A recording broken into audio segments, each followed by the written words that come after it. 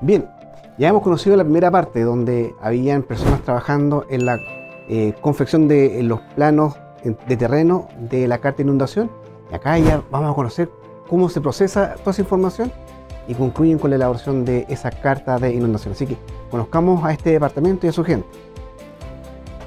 Cecilia, hola, ¿qué tal? ¿Cómo estás? Hola, bienvenidos a la sección de modelación de tsunamis. gracias, porque hemos estado conociendo lo fascinante que es el trabajo de la Autoridad Marítima, especialmente lo que se refiere al, CHOA. Eh, estuvimos con la gente que hace las cartas de navegación, que son importantes para la seguridad de la navegación, pero ustedes también desarrollan un trabajo súper importante y que es como de la línea costa para adentro, que son las cartas de inundación. Así que, por favor, explícanos cómo se elabora, cómo ustedes trabajan y cómo llegan a este proceso o a este producto final. Tal como tú mencionabas, nosotros ya ahora tomamos la misma información que se utiliza, por ejemplo, para las cartas náuticas, como esa base de datos. Esa base de datos nos llega a nosotros, a este equipo. Aquí ustedes pueden ver, tenemos una oficina donde tenemos un equipo y personal profesional multidisciplinario. ¿Y qué es lo que hacemos nosotros acá? Nosotros lo que tomamos esa información, utilizamos esa información y tratamos de simular, ¿cierto?, qué es lo que podría pasar, por ejemplo, en el borde costero de una localidad específica ante un evento de tsunami. ¿Ya? Eso es lo que nosotros hacemos. Posteriormente, esa información, después de que pasa por todo un procesamiento de análisis, se plasma en una carta. Estas se llaman cartas de inundación por tsunami, ¿ya? Y las elaboramos y las tenemos también disponibles de forma gratuita. ¿ya? En este momento tenemos 72 cartas de inundación que las tenemos públicas. Te voy a contar cómo partimos. Ok, quiero conocer eso. Mira, aquí vamos a partir con esta estación de trabajo, donde tengo aquí un profesional oceanógrafo y él eh, te va a explicar un poco cómo él recibe la información que fue tomada en terreno, que se procesó en otro departamento y que nos llega a nosotros para poder avanzar en el primer proceso. El primer proceso, nosotros qué hacemos? Control de calidad de la información, base de datos. Las tomamos esa base de datos para después poder trabajarlas en conjunto. ¿Qué tomamos nosotros? Tomamos la, los datos del fondo marino, los datos de la topografía, ¿cierto? Ya de, de costa, se genera un modelo y nosotros hacemos simulaciones de ese modelo. Aquí les va a explicar César un poco cómo toma esa información y cómo va pasando por estas distintas fases que parte a hacer la modelación del tsunami. Vale, gracias. Bueno, una vez obtenidos los datos por parte de la, del Departamento de Hidrografía, empieza la parte de modelación numérica. Para esto, el primer paso es, a partir de la batimetría y la topografía línea de costa, nosotros mediante un proceso de interpolación generamos las mallas para que el modelo numérico propague el tsunami a través de ellas. Se hacen diferentes pruebas y una de las pruebas que hacemos acá en la sección es definir el modelo, o sea, definir, perdón, la deformación inicial, que es a partir de un terremoto de subducción ya sea un extremo probable conocido o probable en base a una base de datos que tenemos de la Universidad de Chile. Ustedes, cuando hacen estas moderaciones, asumen ya terremotos que han pasado anteriormente o proyecciones de eventual Claro, lo primero que se hace es cuando nosotros le decimos validar el modelo, empezamos con ya terremotos conocidos, ejemplo 2010, 2015, 2014, dependiendo de la zona si fue afectado o no. Y una vez Pasado eso, validamos nuestras mallas, que son a partir de la base de datos de, que nos entrega hidrografía, y nosotros empezamos a utilizar una base de datos que nos pasó la Universidad de Chile, que tiene un centenar de, información sísmica a lo largo de todo Chile. Y Cecilia, en la parte de su análisis, nos entrega una cantidad de 20, 30, 40 escenarios que nosotros modelamos. Que esto, supongamos como lo mostramos en la foto, es la condición inicial, que es el levantamiento de la columna de agua y lo que se propaga como se ve en el video de acá. Una vez obtenido toda esta parte de modelación y elegido el peor escenario, se obtiene como resultado final lo que estamos viendo acá, que es la profundidad de inundación, que se ve después desplegada en la carta de inundación. ¿Siempre es el peor escenario? Sí, siempre el peor escenario, siempre. Como para que haya mayor resguardo a la gente ante la ocurrencia de un... Por eso siempre se hace un análisis a lo largo del lugar de interés de los peores terremotos que puedan ocurrir o que han ocurrido. Y después de que tú haces esta modelación, ¿cuál es el otro paso que viene? una vez que nosotros terminamos, tenemos la profundidad de inundación, pasamos a la parte cartográfica donde el, geógrafo a cargo despliega la información que antes les mostraron en, la carta de inundación. vamos a conocer entonces esa parte, ya con la parte de cartografía, de cómo sigue el proceso de la confección y elaboración de estas cartas de inundación.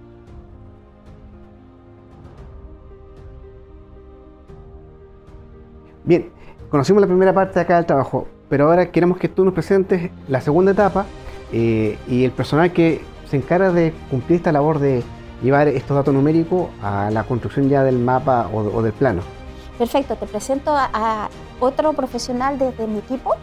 Él es Igor, él es geógrafo y él se encarga ahora de todo lo que es la edición cartográfica. Él toma toda la información que viene desde el modelo, que es una información digital, una información numérica, y la transforma en algo que es más factible de poder visualizar en una mapa, ya sea de forma digital o ya sea impreso en papel.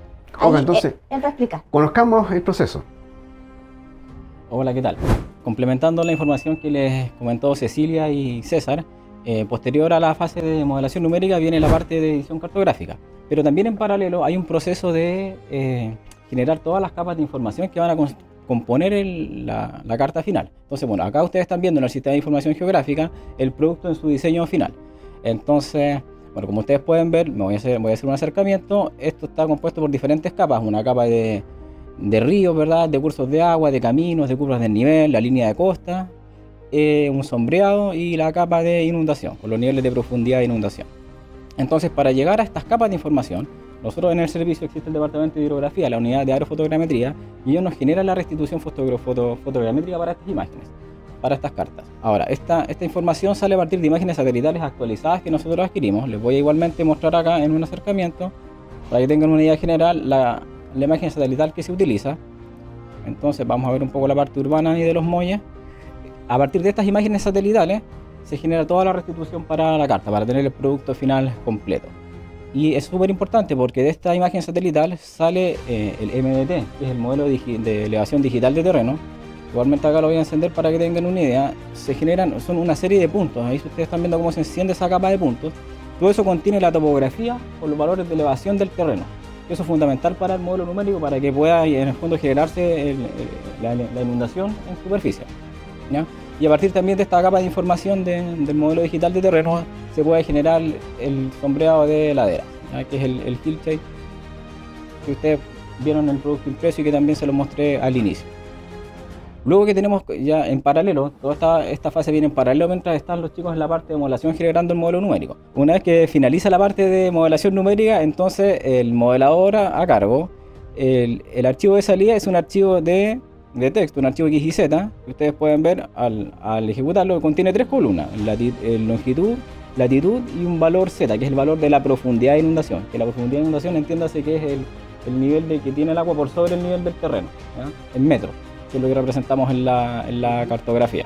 Entonces, con esta información se importa al sistema de información geográfica y lo que se obtiene como resultado inicialmente es una primera capa de puntos. Voy a encender esta capa de puntos inicial para que tengan una, idea general y así es como se ve esta, esta inundación. ¿Se fijan? Entonces es una, inundación uniforme. Esa información se reclasifica en los diferentes niveles de inundación utilizados en la carta y inicialmente tendría, tenemos este resultado ya con la información reclasificada en, los niveles que van a ser la parte final de la carta. Y posterior a eso se trabaja en la poligonización de estas áreas para generar la capa de, inundación como área, el producto final. Y luego de todo este, de todo esto, todos estos procesos, todos estos procedimientos, finalmente se, se diseña el, el formato de salida de la carta. ¿Cómo puede la gente acceder a esta información? súper bien. Eh, esta información, la gracia que tiene es para la ciudad, para la ciudadanía en general. Es información disponible gratuita que está en la página del, en la página del servicio de techua.cl. Eh, ustedes van al banner que dice nuestro servicio y ahí está el link para acceder a las cartas de inundación por tsunami. Y ahí están contenidas entonces todas las cartas que a la fecha llevamos publicadas, que como les comentaba Cecilia, tenemos un total de 72 cartas. Entonces, para el caso de la carta que estábamos revisando, que eran los muelles, eh, ustedes pueden ver que hay diferentes enlaces. Tenemos tres enlaces, el producto en PDF, en KMZ y en mapa. El PDF entonces es el archivo para descarga de impresión, que eh, así tal cual como ustedes miraron el producto impreso ahí, cualquier usuario lo puede descargar y imprimir en un plotter. El archivo KMZ permite ver la inundación directamente sobre un software que es el Google Earth para ver la capa de inundación. Voy a tomar un ejemplo. Eso significaría que, que lo veríamos como frente a una fotografía satelital. El, Claro, lo van a ver sobre la- un mapa base que es la imagen satelital de fondo. Por ejemplo, al descargar el KMZ, ahí se tiene que ver- Bueno, previamente hay que tener instalado el software.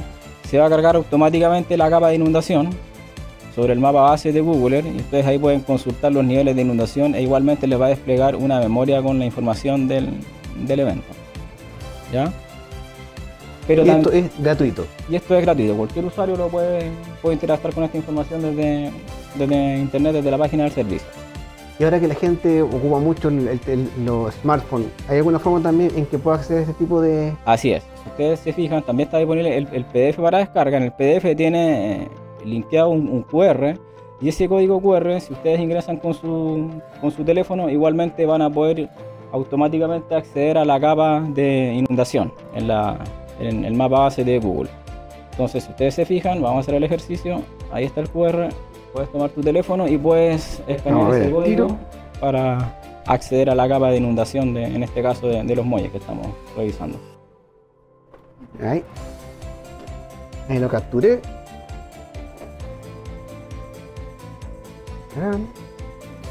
Excelente.